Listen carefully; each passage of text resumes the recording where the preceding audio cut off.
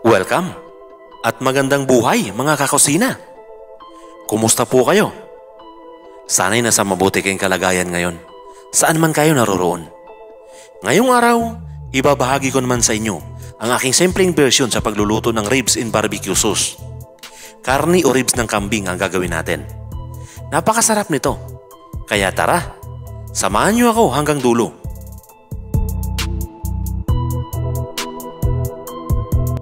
Ito yung mga sangkap na kailanganin natin.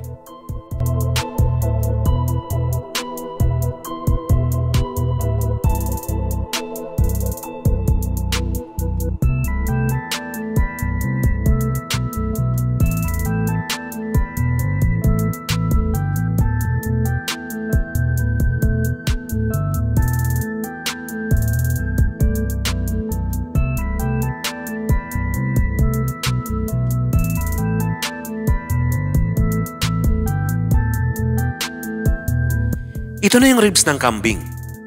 Ang una kong gagawin ay imamarinate muna ito sa Sprite. Nilagyan ko lang ito ng paminta. At imamarinate lang natin ng mga dalawang oras.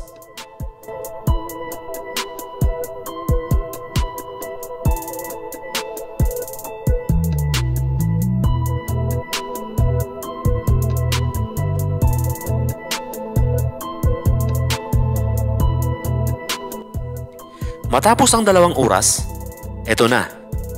Aalisin ko lang ito dito sa pinagbabaran. Kakamayin na natin para mas mabilis. Kung napapansin nyo, ibang iba na yung kulay nitong ribs. Ibig sabihin yan, kapit na kapit na yung Sprite dito sa laman.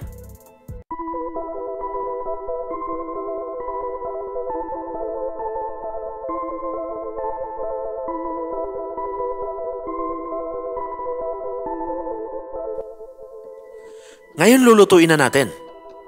Nagpapainit lang ako ng mantika dito sa ating lutuan. At igigisa ko lang itong bawang at sibuyas.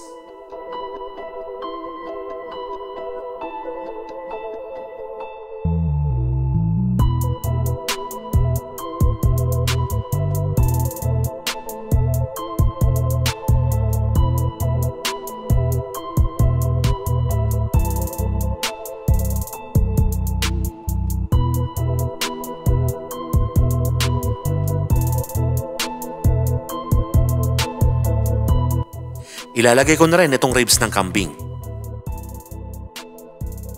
Hahaluin lang natin.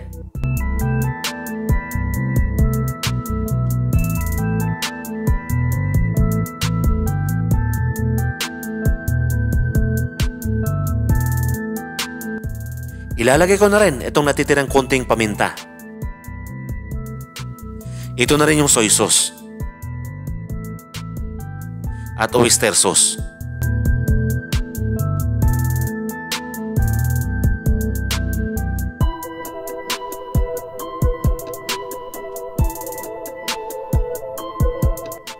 Ngayon ibubuhos ko na rin itong Sprite na pinagbabara natin kanina. Maglalagay na rin ako ng konting tubig dahil palalambutin pa natin ito.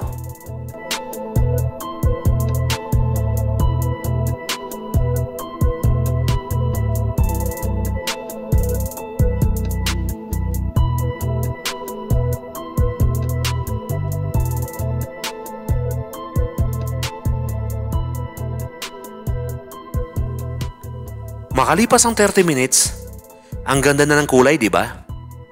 Itutuloy lang natin. Maglalagay na ako dito ng tomato sauce.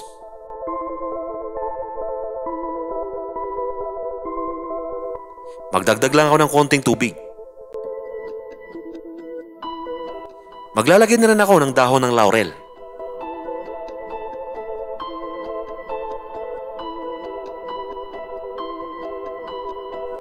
Itutuloy lang natin ang pagpapakulo hanggang sa makuha na natin yung saktong lambot nito.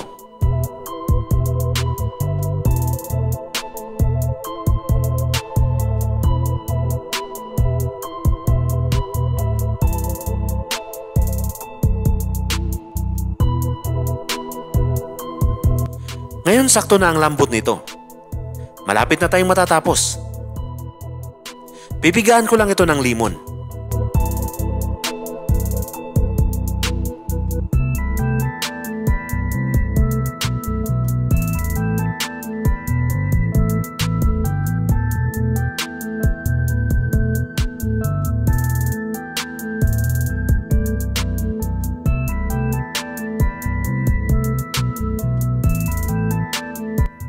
Titikman lang natin. Wow na wow! Lami na kayo! Tapos na tayo. I-serve na natin.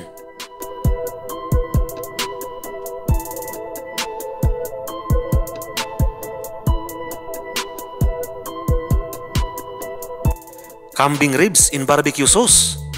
Kao na ta! Kung nagustuhan mo naman ang video na ito, baka pwede mo itong i-like and share. At kung di ka pa nakasubscribe, pakisubscribe mo na rin ako at pakipindot ng bell all button para updated ka sa mga bago kong upload na videos. Maraming salamat po sa inyong walang sawang panonood. Mag-iingat po kayo palagi at God bless po sa inyong lahat. Bye-bye!